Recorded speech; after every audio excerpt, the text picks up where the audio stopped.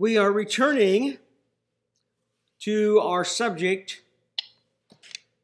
which this series has grown strongly to, and we are in sermon number 107.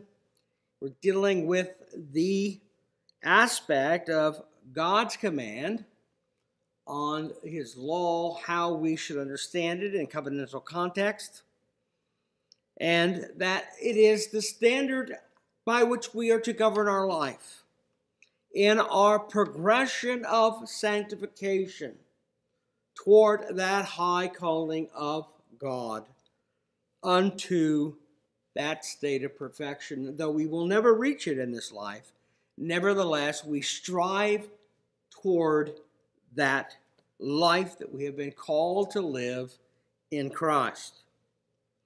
We are still in this, the eighth commandment. And we have taken up this whole issue of what sins are forbidden in the eighth commandment. Now, we've looked at some aspects of that, but now we're looking in particular at just these things that address the issues that are very important for us concerning things that we need to avoid in our Christian walk.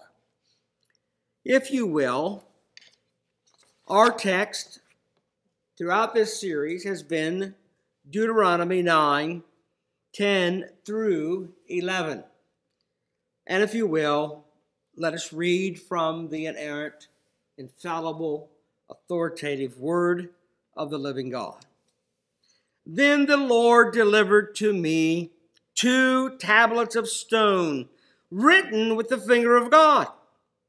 And on them were all the words which the Lord had spoken to you on the mountain from the midst of the fire in the day of the assembly.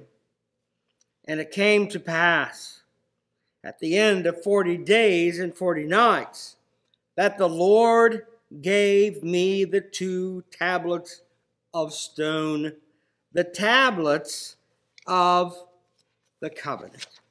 Shall we look to the Lord our God in prayer? Our Holy Father, we're thankful for the privilege that we have to come to once again consider the very nature of thy word, what it means to us. We pray, O oh God, that as you have seen fit to call us into your kingdom, you have given us thy Spirit, who will teach us all things from thy word. Let us never forget from which we are to be committed. It is to thy word, it is to Christ, who is the head of our church.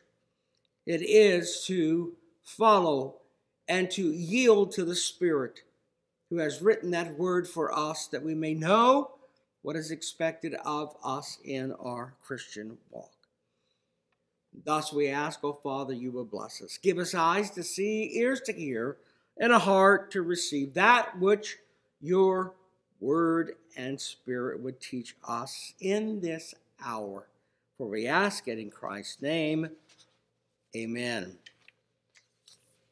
Now, the question that we've been looking at, which is, which is the eighth commandment? And the eighth commandment we said is, Thou shalt not steal, taken out of Exodus 2015.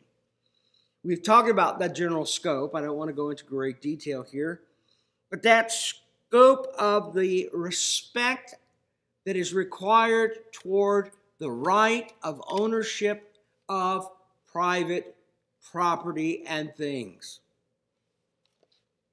For it is only in light of the right to own these things can the law be stated in the negative. Thou shall not steal. Property, we said, is wealth, and we have been entrusted as a steward to maintain our wealth and property as God sees fit to give it to us, not only for our existence, but to advance the work of His kingdom. So it is we have a great duty and responsibility.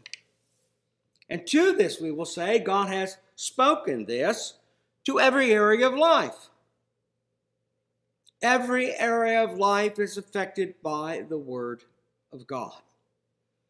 It talks about wealth. It talks then about economics. It talks about social structuring of societies. And so it has a socio cultural perspective to it.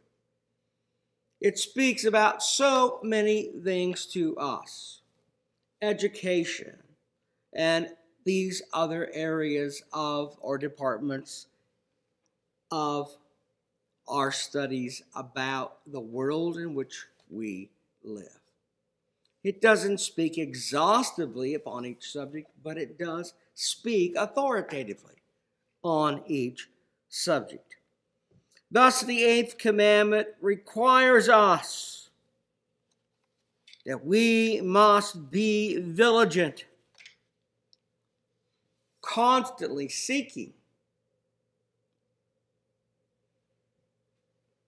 to gather wealth, to respect that which is owned by another, not to remove it unlawfully from him or take it in any form from him, but we are to protect his right, our right to that wealth, because this is the command of the moral law of God. While the command is in the negative, it is in the positive that we have looked at this law thus far. But we began looking at what sins are forbidden concerning this law. And that's in our question number 142 of the larger catechism. And the sins that were forbidden in the eighth commandment, besides the neglect of the duties that are required of us, we do not have a right to neglect those duties. We do not have the right not to gather wealth and preserve property. But at the same time, there are things that the divines felt we needed of necessity to understand in order that we would properly be able to set forth our responsibilities in this life in order that we would not sin against the will of God. And the will is known by His law. And so it is, we've been looking at those various areas that the divines cite in particular. And I want to pick up where we left off the last time we were in this series and speaking. And the next thing that the divines were talking about is this. We are to be careful that we do not sin by injustice and unfaithfulness in contracts between man and man. Now, our confession is very clear. If you pledge something, if you vow something, if you agree to something, you better be sure that you want to do that very thing. You want to commit yourself to what you have done.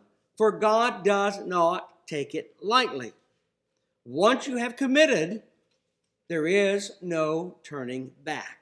As a matter of fact, our divine said, and they have footnoted it from Scripture, that even if once you enter into that relationship and realize that is that is exactly that you're not going down the path you want to go. You're committed. And you must see it through, even if it is to your own hurt. You've been warned, you've been told. Do not enter lightly into these agreements. And in particular, we talk about this in light of contracts dealing with man to man, let alone making some kind of commitment or vow or promise to God of something we would do in our life dealing with those issues that deal within the first four commandments of, or, of loving God, of committing ourselves to his ministry, to his word, to the work of his kingdom. But here in this area of the latter six commandments, those that are given where we are told how men are to relate to men. The divine say injustice or unfaithfulness in contracts, agreements, if you will, in promises between man and man must not be violated. You don't want to keep a commitment, a contract, then don't sign it. Don't agree to it. Don't promise. Don't pledge.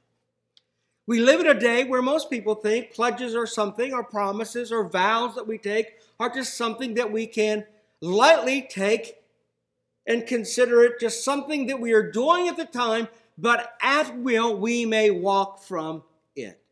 That is not the case according to the law. We have a moral commitment to keep that which we vowed to keep. And it never surprises me how often people will vow, they will promise, they do everything that they can do to try to get you involved with their life. And when they are unhappy because they don't like the way it's going, they walk from it as if they never made a commitment at all. And they think somehow they are doing what is just. But the truth is, it's injustice. You want to be a member of a church? Take your vow. You want to be in trouble with God? Break it without a biblical doctrinal reason that would necessitate you to leave it. You want to agree to work and to be in union and do the work and things of the Lord, and you contract with others to do the same thing. You pledge yourself to them to support each other, do the things that are necessary. Do it. Do not think you can just walk from it. And I think this is where most Presbyterian churches today are really lax. And that's why we're dealing with so much sin in the Presbyterian churches men take vows, commit themselves to the Word of God and to the work of Christ in His kingdom.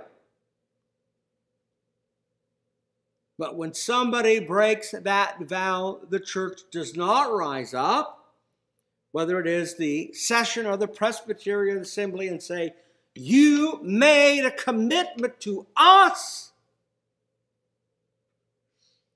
You have no right to lightly consider that commitment and walk away from it. You have a duty to maintain it, to keep it, in every aspect of what you have committed yourself thereunto. So, this injustice and unfaithfulness that is often found between man and man in contractual relationships, however they are, whether they're written, verbal, does not matter. You need to pin down exactly what you're vowing yourself to. God tells us, consider the matter. You don't go into it blindly. Because once you go in, you're not coming out.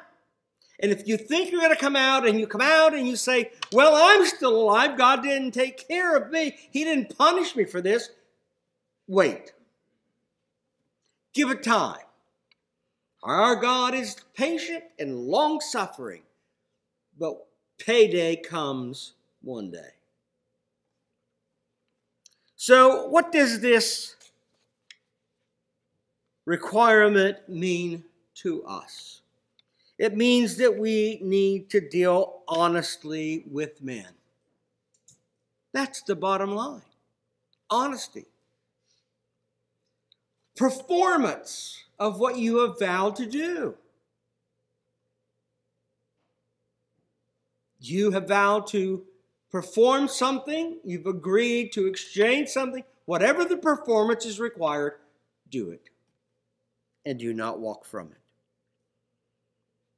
You must fulfill it in your life, even if it's to your own hurt. Well, if I keep that promise, if I keep that contract, if I keep that commitment, it will cost me dearly. Too bad. You made the commitment.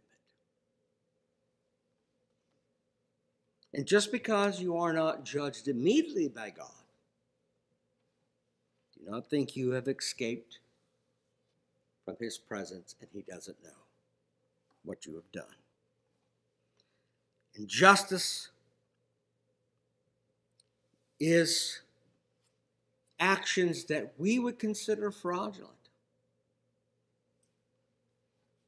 Where a man is unfaithful to his performance that he hath promised.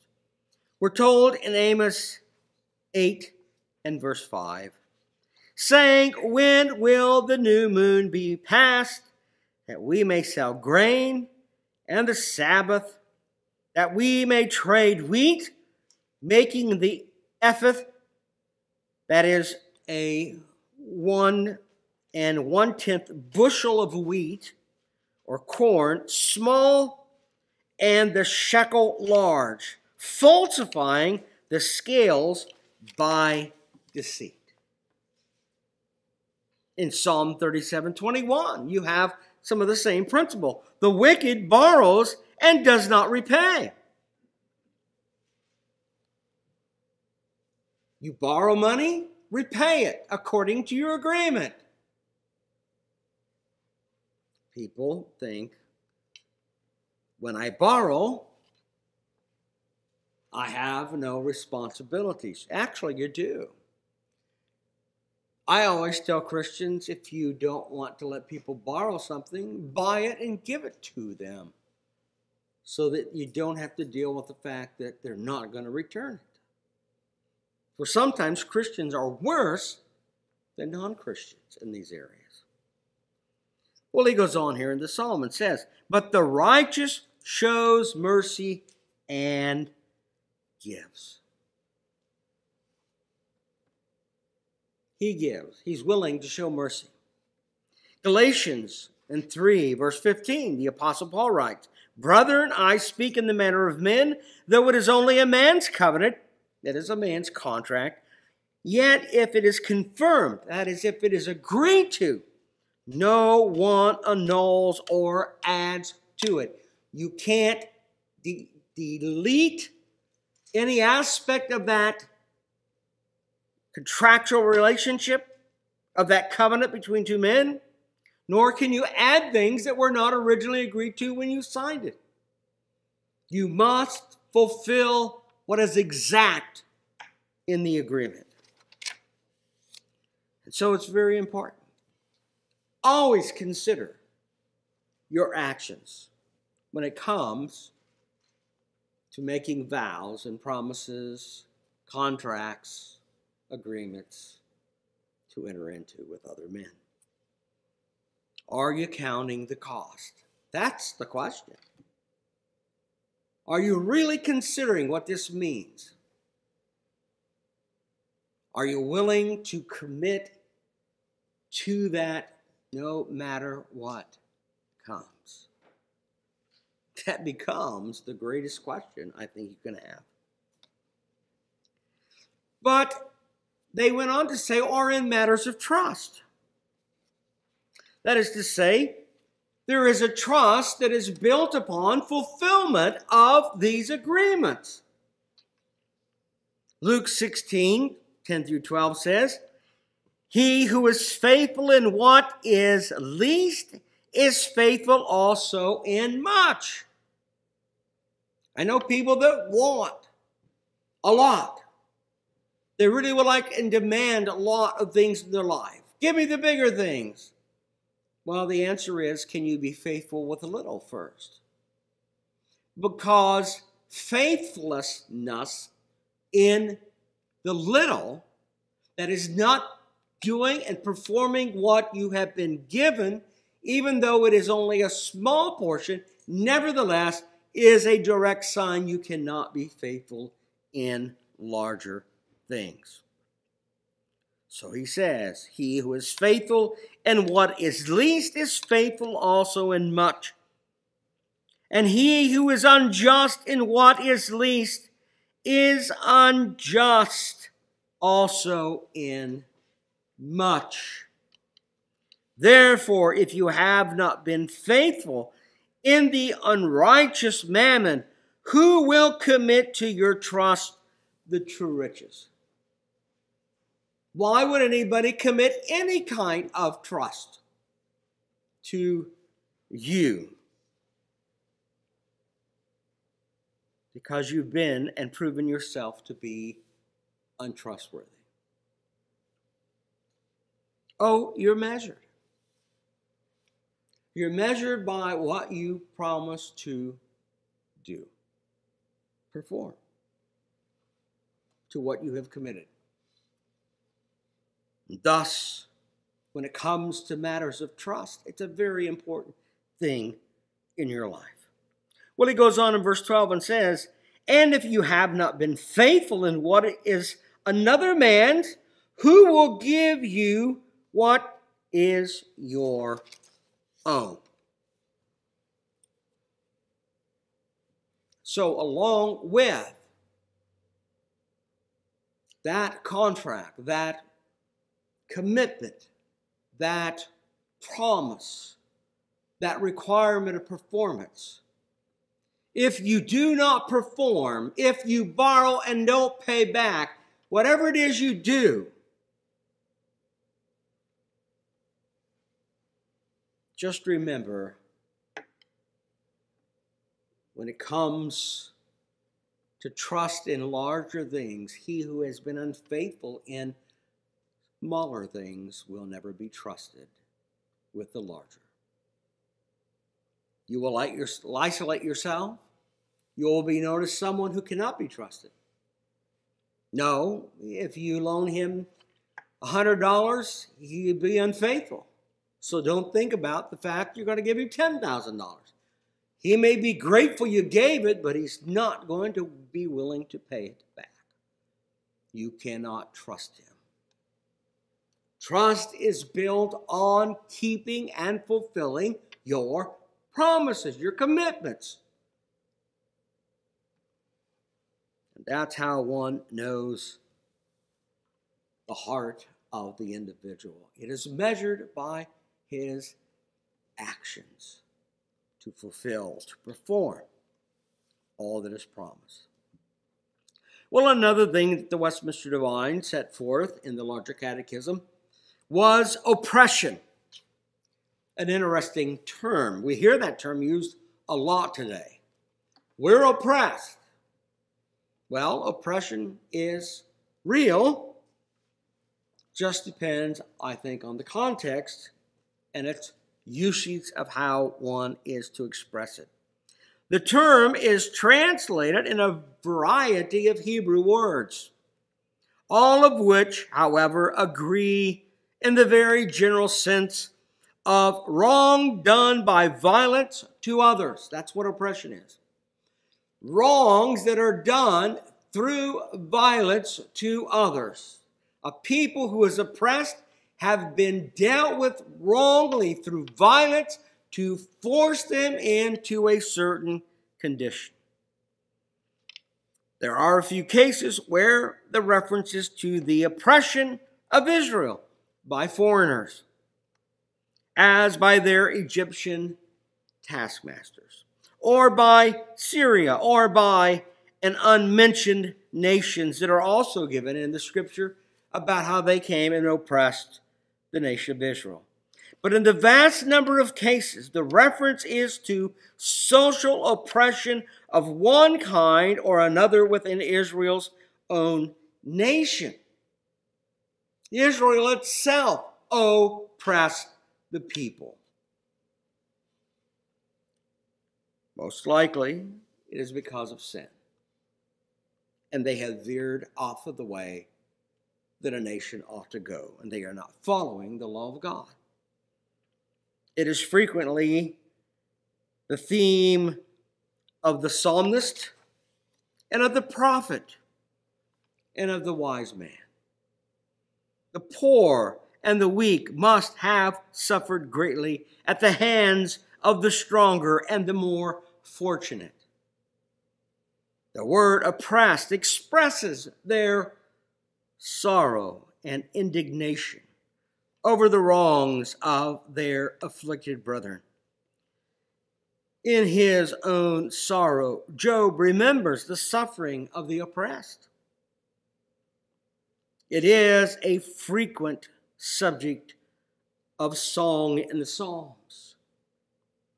And the preacher observes and reflects upon its prevalence.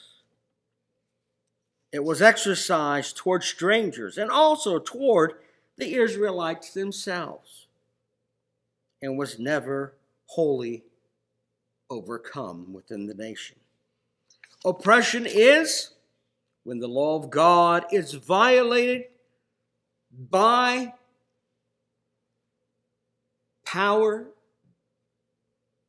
when it is by strength,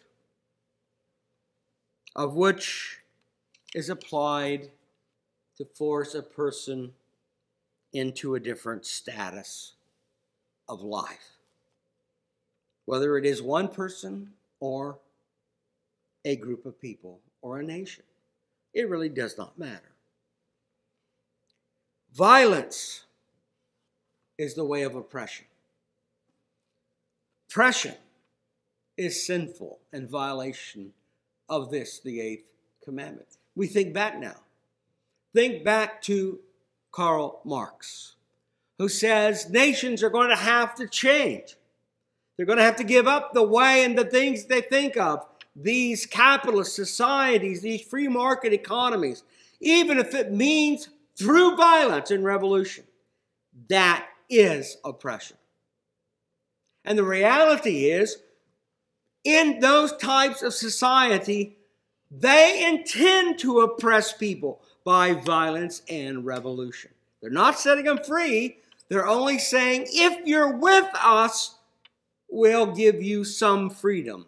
If you're not, we will violate and oppress you. So keep that in mind. It is violence, it is revolution that causes oppression. Ezekiel 22 29 says, The people of the land have used oppressions, committed robbery, and mistreated the poor and the needy and they are wrongfully oppressed, and they wrongfully oppress the stranger. Leviticus 25 17. Therefore, you shall not oppress one another. You shall fear your Lord, for I am the Lord your God. Where there is true oppression, not just allegations of oppression, which really are not oppression at all. Having to follow the law of God is not an oppression. Fulfilling your vows in church membership and being under discipline when you violate them, that's not oppression. Oppression is when you are violated by violence to live or to do something that does not keep the law of God. So it is, there is oppression. And there is justified an argument, if you will, I mean, justifying the fact that someone is oppressed. But oppression is the way and the gateway word for communism, for socialism. We are an oppressed people. Why? Because we want somebody else to work we want them to give us what they have earned. We want everything in life. We do not want to follow the laws. We want to live as we want to live. That's not oppression. That's rebellion. That's the very nature of socialism and communism.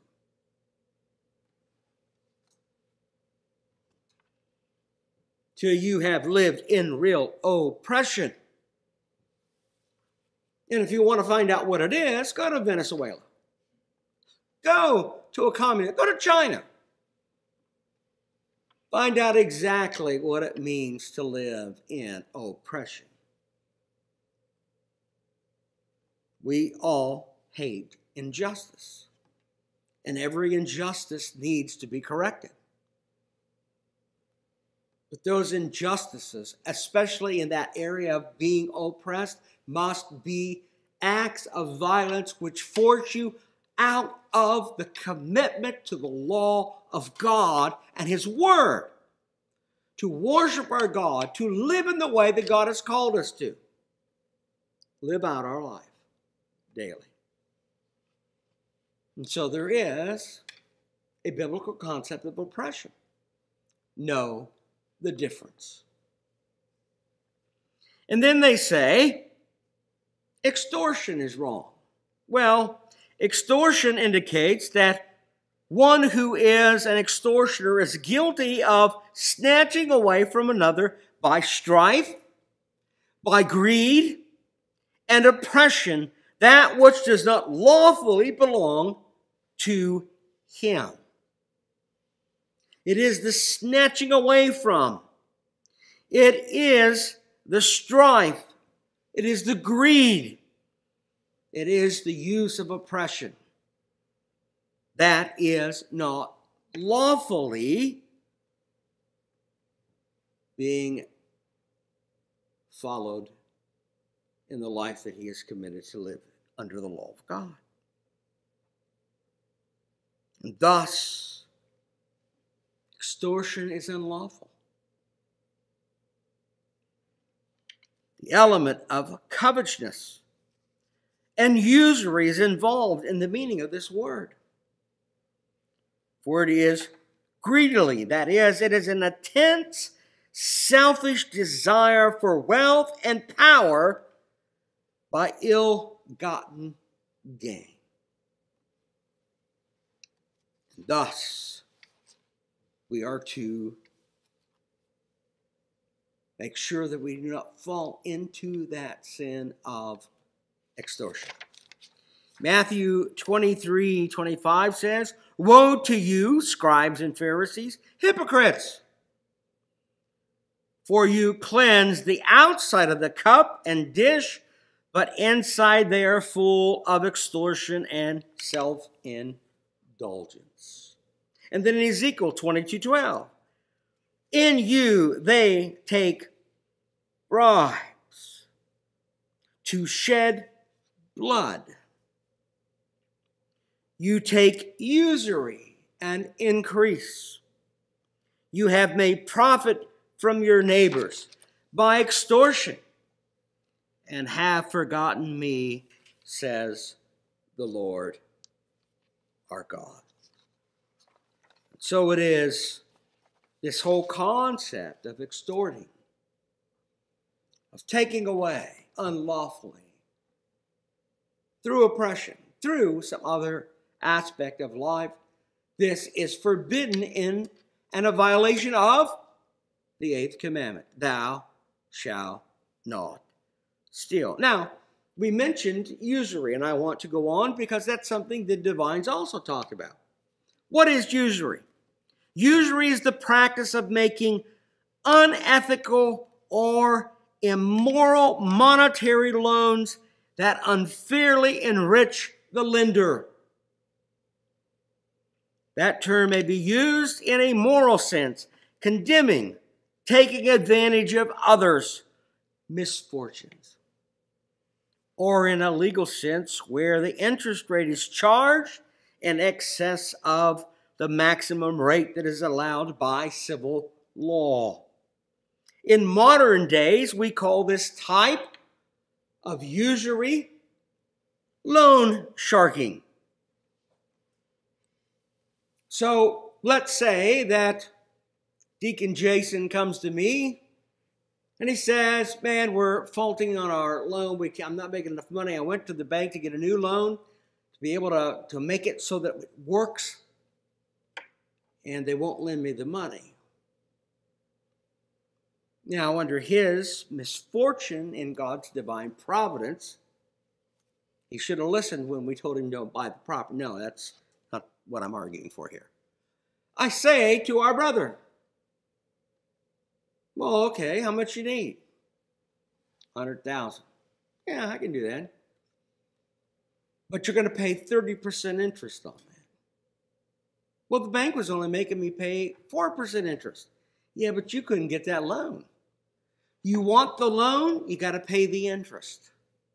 You don't pay the interest, we break your legs. It's just a kind of a mob action, is what we're talking about here. That's what loan sharking does. You need money. They know that in the providence of God, you're in a state of misfortune and you're almost willing to do anything, including making the mistake of taking their money with the understanding they're going to charge you an exorbitant amount of interest on that money. So I think we understand what usury is all about. As a matter of fact, among Christians, even in the Old Testament as well as the New, if you borrowed money, you did not charge interest. You were forbidden to charge interest. By the way, in the history of the church, just so you know, the First Council at Nicaea in 325 forbade clergy from engaging in usury. Now, normally, most of the clergy held a lot of money for the church. And when people needed money, they would come to the people who held the purse strings, and that was the clergy. And the clergy would try to extort money. They would try to attach a heavy usury, or if you will, a heavy interest rate. This is what the First Council of Nicaea said.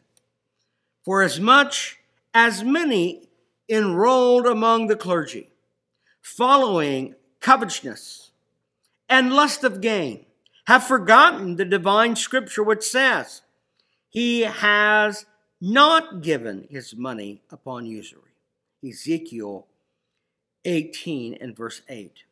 And in the lending money, ask the hundredth of the sum as a monthly interest the holy and great synod thinks it just that if after this decree anyone be found to receive usury, whether he accomplish it by secret transaction or otherwise, as by demanding the whole and one half, or by using any other convenience or contrivance whatsoever for filthy lucre's sake.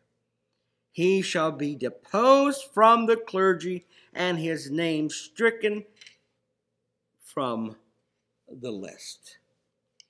Canon 17.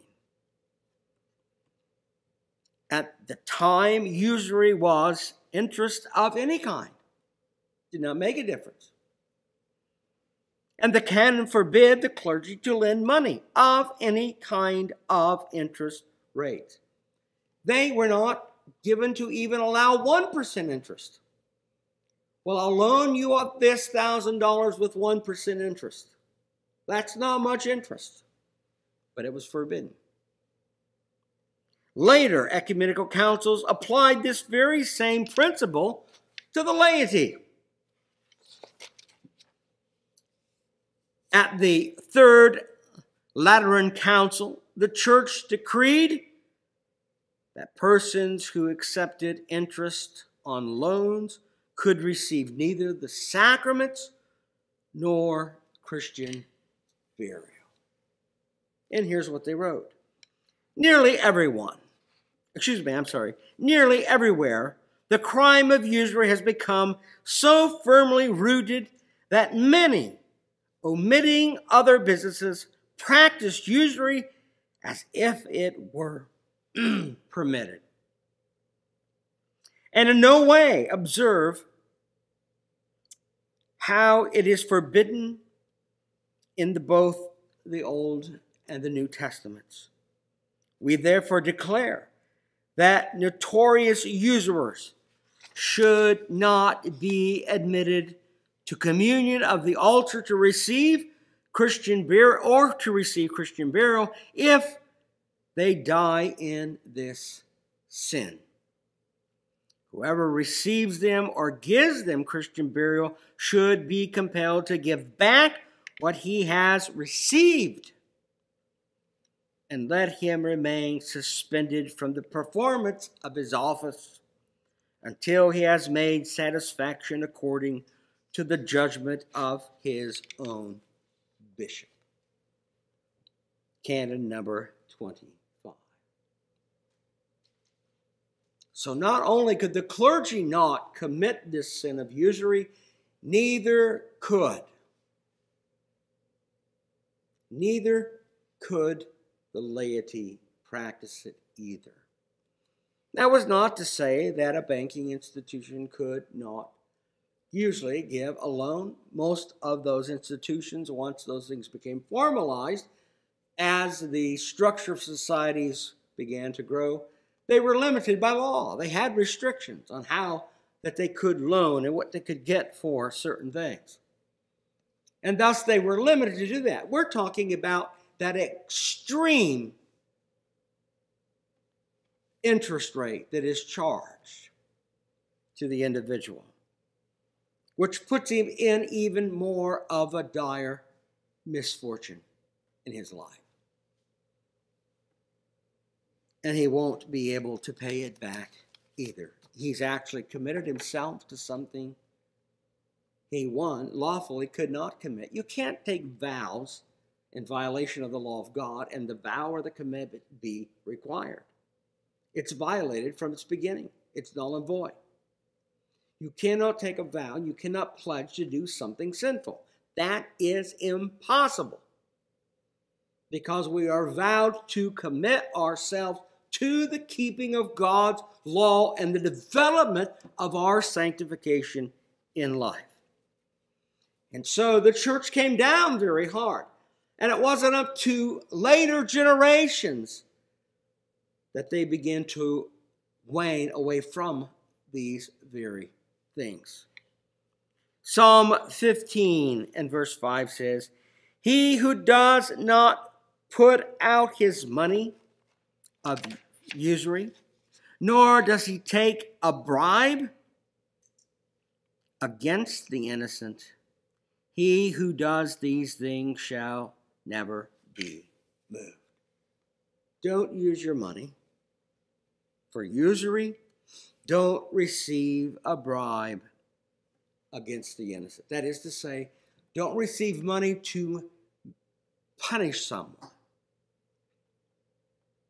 But at the same time, if you are given a bribe, as it's saying it here, to do the right thing, if you don't receive it against the innocent, but you do the right thing and you do not violate them, then you're a person who shall never be moved. You're established in your faith. We'll look at bribery later on in this series because you can offer a person money to do the right thing rather than to sin or violate people, whether it's through violence or acts of violence or through theft or whatever the case may be, persecution or oppression. You can give somebody money and ask them, Would you go away and take this money in exchange for not telling, not saying. It's like hiding the Jews during World War II in the various Christian homes, in which, when they came looking for them, they denied they had any knowledge or access to the Jews at all. Thinking in particular of that book written by Corrie ten Boom about her life in Germany. But in this verse here that we're talking about, I just read to you, David commands the godly neither to oppress their neighbors by usury nor to suffer them to be corrupted with bribes to favor unrighteous causes. That's what we're talking about. David, from our text, seems to condemn all kinds of usury in general. And without exception, the very name has been everywhere held in abhorrence. And so I say to you, it's very important to understand we need to be not involved in usury. We need to live our life. If you want to loan money, you loan it without expectation of except getting it back. That's all. You have money and you have access of it because God has made you wealthy. And when someone has a need and you have the ability, I didn't say give when you don't have the ability, but when you have that ability, you can loan money without, the expectation of getting interest. Now, I mean, if they want to give you more money, say, wow, we really appreciate what you did. Here's a couple extra hundred bucks just for what you did. That's not you charging, that's them wanting to say thank you. Here's a gift from us, an act of love. That's okay. But you cannot say, okay, here's your thousand dollars, I expect twelve hundred back, two hundred of interest. That is usury. We are not to oppress the people, even in an economic means, which is why we have to be very careful when we talk about taxation in our nation. Because taxation can also be another form of greediness that steals from the people and excess. God says in Romans 13 that there is a just tax for government. But we also know there is an unjust tax by government. So we need to be careful. Usury, charging an interest, an exorbitant amount of money. Now, if you have a bank, banking is not illegal. You can invest money in your bank and they'll even give you money for investing with them. Now, it's not much, believe me. But there's not a danger in it today, for example. There's an insurance policy against a certain amount of money that if anything happens to it, they're going to make good for. But they are governed by law that they can only loan you money at a certain interest rate. Whether we think that rate is right or whether it's wrong, whether it's too exorbitant or not, that is beside the point. They are in business for that very purpose of making a loan and collecting money for those who have invested their money in the bank in order to loan it out that they too can make money. That's legitimate. But it's not legitimate for me as a Christian or even as one who is in the clergy to loan you money that I do have. I'm capable of doing it and then charging you an interest for it. That simply is forbidden. But then again, there's no requirement that you have to loan somebody money. Remember, you go back to the text of Scripture that says a man needs to keep his commitments. He who is unfaithful in little cannot be trusted in much. Once he's proven unfaithful in little, you do not need to trust him, for he has broken his trust, his bond, his word.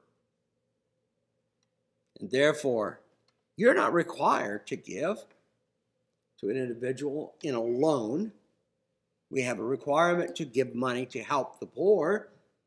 As individuals, we do. But I'm talking about a person who wants to borrow money for a loan. Those who have proven to be unfaithful, untrue, non trusting, we are not required to give them money. That is not our responsibility. But we have a great responsibility. And what I want you to see is we are literally dealing with economics at this point. How does a nation, its people, go forward and glorify God in the way that they work and at the way that they handle and help and bless each other in ways that God has blessed them so that they can be a benefit to others? That is the question. And so it is, economics begins to play a very important part. We need a biblical understanding of economics, of just weights and measures, as we talked about. We have real estate aspects of law. Don't remove the landmarks. Think of all the things we've been talking about. These are things that govern our life daily. It speaks to who we are as a people and to what we are doing to the glory of God. Are we keeping God's law? Are we following what He has commanded of us? That's the real question. I hope and I pray that we will learn to yield and heed to the call of the Spirit of God in keeping God's law in our life daily. And so it is. We will return next Lord's Day to pick up from here and go on and continue to look at what the Westminster Divines and the larger catechism said we were forbidden to practice in our lives and within our nation. Shall we pray?